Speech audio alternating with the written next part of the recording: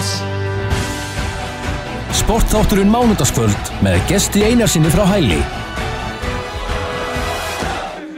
Já, sportáttur með ykkur hérna á þessu mánundaskvöldi og eins og ég sagði við ykkur áðan við að fara aðeins í bortinnis Já, tímabilið búið þar og já, það var nú þannig að um helgina var lið Vikings A Íslandsmeistari í bortinnis eftir að hafa betur gett Vikingi sé í ottaleg liðana í fyrstu deild Karla En á línuna komið liðsmaður Íslandsmeistarana, hann Daði Freyr Guðmundsson Kontur blessa á sætlæðingi Já, blessaður. og til hafmyggi með titilinn Já, takk fyrir það. Herru, það má nú segja að þessi fyrstu deild, hún hefur sjaldan verið jafnveila spennandi og jötn eins og núna þetta tímabil. Herri, já, það má segja það. Það voru allavega, það voru rosa mörg jöfnlið í deildinni í ár, sko. Það var bara, þetta var einn skemmtilegasta deild bara sem maður hefur spilað í, í nokkur ár, sko. Þannig að. Þetta var alveg, alveg glimrandi gott. Nógulega. Og já, eh, það endaði nú þannig að þið þurftuð að já, mæta kollegum ykkar í Vikingi í úrslildum. Vikingur C og A. Já, ég meina, þeir, þeir áttu það bara fyllilega skil. Þeir, þeir voru búin að standa sig alveg frábælega og, og, hérna, og í undanúsliðum munið er HK A sem er gífilega stertlið og, Mhm. og hérna, það voru bara við í úrstaleik. Já. Þannig að þeir voru bara mjög, mjög góðir. Og já, úrslildakettni sjálf, að, það er náttúrulega, hún er búin að vera rosalega á milli þess að liða. Já, þetta er sko, ég meina við, við lendum í åtta leik líka á móti KRB Mhm. og, og það er alveg æsir spennandi leikur þannig að þetta hefði getað farið, þú veist, sér ykkur um megin sko. Já. Það er bara kannski aðeins meiri reynsla í, í, í mínu liði heldur en í, í, hérna, í hinum liðunum þannig að það er kannski sem að, hérna, sem að, hérna, sem skaraði fram úr í þessum leikjum. En uh, já, svona tímabilið sjálft, uh, það er bara, uh, já, bæði einstaklings og í liðakefnunum, hún, já, það má segja að hún, þetta er búið að vera nokkuð svona jant og spennandi tímabilið, einhvern veginn, að það er eiginlega allt búið að vera óvist svona hverjir myndu standa uppi sem sigurverar. Já, það er alveg þannig sko. Það er bara sko í rauninni eftir að hann hérna, Guðmundur Stefensen eh, svona leggur spaðan aðeins til hliðar Mhm. eða hilluna, ég veit ekki alveg hvað hann er að fara að gera en hérna, en svona þá er rauninni opnaðist svolítið marga dyr fyrir, fyrir aðra bortinspila og á Íslandsmótunum og hérna og, og það eru svo rosalega margir sem eru mjög jafnir Mhm. þannig að þetta er þetta er og í rauninni fyrst orðið spennandi núna Já. og segja það Nákvæmlega. Og já, hvenna meginn þar uh, voru KR Íslandsmeistari Já, eftir, það er nú búin að taka þetta núna, já, hvort það tók ekki, í fyrra líka já, og hérna, nú vikingur, uh, já, árið þar á undan. Mhm. Það voru reyndar Eva Rós og, nei, Eva og, og Lilja. Það er hérna, eru reyndar, spiluð ekki ár í deildin. Nei. Þannig að, hérna, en, en samt, það var samt alveg hörkuleikur á milli hvernæli Vikings og, og, og hvernæli KS, þannig að það er bara, bara gaman að þessu. Já. Þetta, þetta væri ekki skemmtilegt nema þetta væri spennandi, sko. nei, nákvæmlega. Uh, já, aðeins að þér sjálfum, uh, þú hefur verið svolítið lengi það ekki í bortinnis bara svonum? Herru, ég byrjaði að æfa þegar ég var 12 ára gammal Mhm. og ég sérst var 30 núna í april þannig að þetta eru hvað, komin 18 ár Mhm. Og já, var áður í fótbolta Mhm. þannig að maður hefur svona grunninn þaðan sko, svona íþróttalegan Já.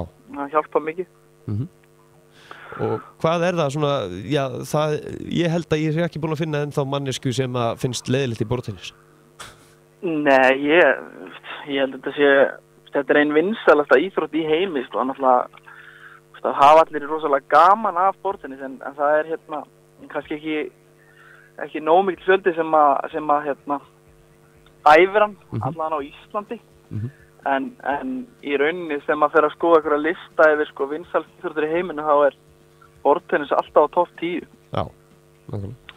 þannig að það er náttúrulega enn í, auðvitað, hafa, hafa, hérna, Asjölandi mikið um það að segja, Mhm. það er gífilega vinsalt þar. Uh, það má, uh, já, til þess að vera afreiksmaður í bortinnis að þá, uh, já, þá þarf við ekki lífið eitt svolítið bara að snúast um íþróttina. Jú, það er basically þannig sko, maður, ef maður ætlaði að vera atvinnum maður í bortinni þá, þá þyrfti maður að, þá hefði maður átt að fara út sko þegar maður var 16 ára og, og hérna, ég er rauninni bara að reyna að, að gera sér betri og betri og, og taka þátt í, í hérna, prótúrmótum út um allan heim og, og, og vera veist, fastamæður í kannski starri deld en Íslandi Mhm. og þú veist, það er að fara, fara að lifa á þessu sko Já.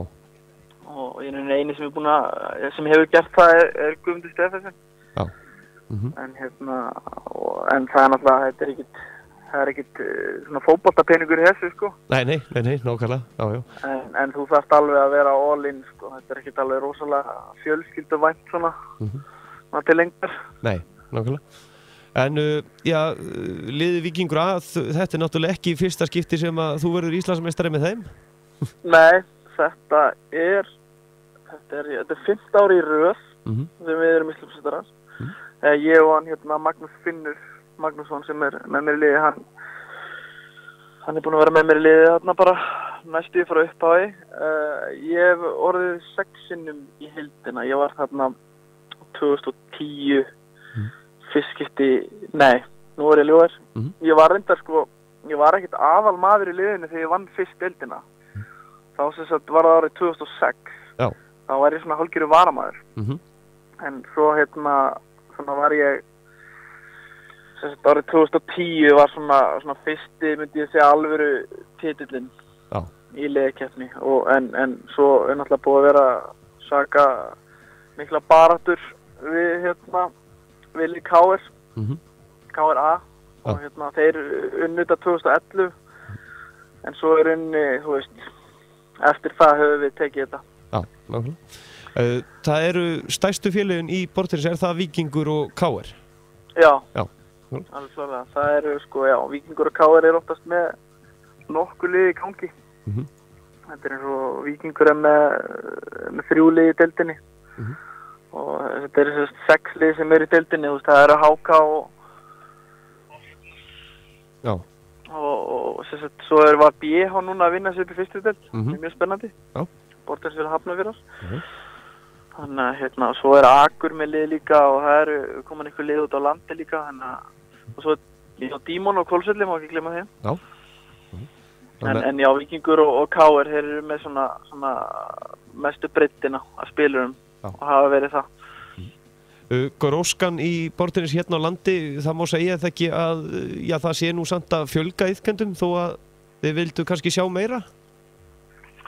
Um, Já, það hefur verið svolítið að, fjölga á krökkum í rauninni öðrum félagum heldur en Viking það hefur ekki verið nógu mikið hjá Viking Mhm. en það er eitthvað sem við erum að reyna að vinna í núna að reyna að fá fleiri og, og byggja upp starfið Mhm. en oftast eh, er rauninni í mörg ára var Vikingur staðista félagi sko. Já. og í rauninni erum kannski með kannski með meiri breytt af, af, af svona ég veit ekki, eldri leikmönnum. En það er kannski fleiri nýjir að koma inn í, í hinnu félagunum en, en, en við erum samt með í rauninni sem er að gerast í okkur er að, við erum kannski með fáa unga en, en þeir eru allir að standa sig alveg gífulega vel og eru alveg veist, í eldninni sko. Þannig að hérna að það er alveg, við erum að gera gott starf sko, þóttu sem kannski ekki alveg að fá alveg nú mikið að krökkum inn í félagi sko. En það er eitthvað sem við erum alveg að vinna í Já, já. Uh, já, svo er náttúrulega alltaf styrkleika listin sem að þið eru með á Íslandi. Þar ert þú í öðru sæti, rétt á eftir félagaðinum? Já, algjörlega, það er svona, maður er búin að vera klífið þennan list alveg í átján ár, Já. þannig að það er alveg, þú veist, það er gaman á honum, sko, það er gaman að fylgast með því hvar maður svona stendur og, og, og hérna, náttúrulega skiptir máli að vera virkur spilari, sko, og taka þetta í mótum og, og getur náttúrulega, þú veist, verið þarna alveg fastur, veist, í nokkur ára, eða ég heldur reyndar að sé, það eru tvö eða þrjú ár sem að þú fer þá bara baklista, sko, Mm já, þú ert ekki virk spilari en, en hérna en sem sagt uh, já, maður er náttúrulega búin að, já, komin í annarsæti Já, já. okkurlega. Þannig að þú klífir hægt og rólega þarna upp og svo á toppin eða ekki? Jó, er ekki stemt á það Já, já, nákvæmlega. Ég er bara að vona að hann hérna, að hann hérna, sem maðurinn sem er á toppnum, Magnús Kristinn, Mhm. fara nú að láta sjá sig og, og hérna, og leiði mér aðeins að spila meira við hann. Já, nákvæmlega. Láta hann aðeins finna fyrir þessu? Já, já, það er sýst tími komið. Tímið í komið. En uh, já, nú er uh, tímabilið það ekki að mestu lokið, uh, er eitthvað verkefni svona framöndan hjá ykkur? Uh, það er náttúrulega frí eða ekki á sumrin eða er aldrei frí í bortinnis? Sko, það er mikið farið til sagt, í æfingabúður á sömur. Mhm. Mm -hmm. Úlingarnir fara mikið æfingabúður og, og svo er oftast mikið að gera alveg hjá landsliðinu. En það er næsta verkefni er hérna, Arctic Open sem er sem sagt, uh, sem sagt mót sem að hérna, er einu Íslendingar byggu til í, í hérna, sambandi með Grænlandi og Færi Mhm. og sem sagt, Grænlandingar og Færi, Færiðingar er að fara að koma hérna ég held að það sé á 14. mæ það er bara stutt í þetta þannig að það er núna er bara landslýsi undirbúningur á fullu Þannig og, og það er náttúrulega rosa gaman að koma svona fleiri þá eru svona félögin svolítið svona að æfa saman Mhm. sem er unni mjög gott bara fyrir bortins á Íslandi það er bara, þú veist að hérna að félögin sé svolítið svona haldast í hendur og, og hérna fá að njóta góðs og æfa með, með hverjum öðrum já, nákvæmlega. Uh, já, Daði fyrir þakka. Kærlega fyrir að gefa okkur tíma, uh, kannski þú getur svarað einni spurningu hérna, það er einn hlustandi sem er að spurja af hverju óskapurinn og kynveri er alltaf langbestur í bortinnis, erst þú með einhverja skýring á því? Herðu, sko, já, það er jálega til skýring af því. Það er hérna, náttúrulega, hvað, kynverðir eru 1300 miljónir Mm og bortennis er einn staðsta íþrótt í Kína. Og, og veist, er svona nánast þjóðar íþrótt kynverja. Þú veist, þetta er, veist, ég er farið tvisað til Kína og, og þetta er þannig að, bortennis er eiginlega bara svona eins og leikvimi, þegar við fyrir með leikvimi í skóla, þá er bortennis spilar stóran part. Og þeir eru bara með, já, gífulega breytt og mikið mannskap til að velja úr. -hmm. þannig að að- það kemur svo sem ekki á óvart. Nei, en eh, þetta er náttúrulega getur verið svolítið pyrrandi að horfa upp á sama liði vinna aftur aftur Já, já. Þannig að, þetta er svona svipaðis á Íslandi bara í, í dildinni já, nákvæmlega. Nei, nei, það, þetta er hérna, já, já, þeir eru allavega búin að dominita alveg frá því að uh, svíjarnir voru aðeins að stríða í kringum 2000, þá unnu er unnu er þetta Já, nákvæmlega. og hérna, en þú veist, undan því voru þeir líka að vinna þetta alveg fleiri, fleiri ár, sko. Mm nákvæmlega. Þannig að þetta er bara, já, þetta er svona er þetta bara. Daði Freyr Guðmundsson, Íslandsmeistari, bestu þakkir og gangi ykkur sem allra best. Já, takk já. hérlega.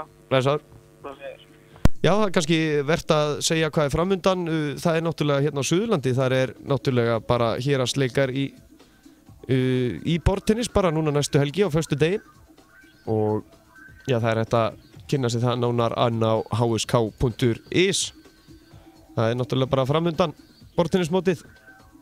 En annars á öðrum mótum sem er í bóði núna næstu helgi sem er verðt að kíkja á. Það er styrtamót Vikings í TBR húsinu á lögadaginn og svo er núna í vikunni já, það er allan að þessi tvö næstu helgi en nóðum það í bili við ætlum að fara núna yfir í blakið og, en blaklandsliði er í fullum já, undirbúningi fyrir krefjandi verkefni sem framöndan er og línuna eftir smástund verður Hafsteinn Valdimarsson úr hveragerði Þú